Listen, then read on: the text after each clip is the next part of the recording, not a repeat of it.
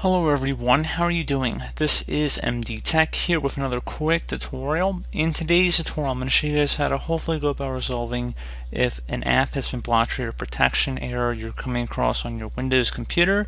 So I imagine this could definitely be a frustrating error message to keep occurring and you're unable to run the applications you need to run and I got you covered and we're going to go ahead and jump right into it.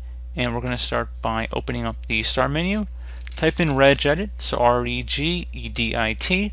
Best match should go back a registry editor. We want to go right click on that and then select run as administrator. If you receive a user account control prompt, select yes. Now before you proceed in the registry, I would suggest you create a backup of it so anything went wrong you could easily restore it back.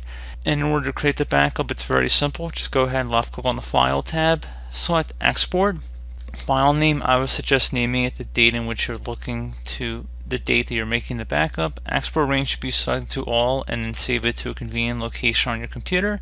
And if you ever need to import it back in, just put select file and import and then you just navigate to the file location. So again, pretty straightforward. And we're going to go ahead and jump right into it now. And we're going to start by double clicking on the HK local machine folder.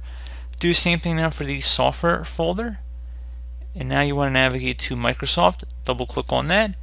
Do the same thing for Windows so we're gonna just scroll down a little bit here. And again double click on that. And now locate current version double click policies. Uh, and double click on that. And now it should be a system folder. Just left click on that one time.